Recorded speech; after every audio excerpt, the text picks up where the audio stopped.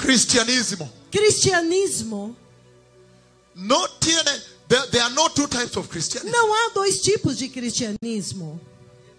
Either you are born again Ou você é nascido de novo and you have been removed by the blood of Jesus from sin into salvation, e você foi removido pelo sangue de Jesus do pecado para a salvação. because the sangre de Jesús tiene poder, capacidad para remover, remover a ti from sin to the kingdom of God. Porque o sangue de Jesus tem poder e capacidade para remover alguém do pecado para o reino de Deus. So either you are born again, Ou você é nascido de novo, whereby the blood has removed you from sin into the kingdom of God, onde o sangue te removeu do pecado para dentro do reino de Deus, or ou you are not born again.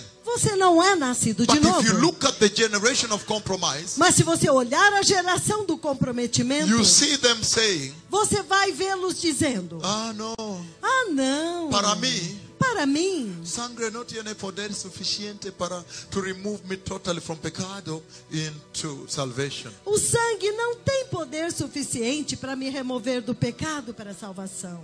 They operate the church, the compromised generation, the church. A igreja, esta geração comprometida, a igreja. The Christians are somewhere in the middle of salvation and the world. Os cristãos estão em algum lugar no meio entre a salvação e o mundo.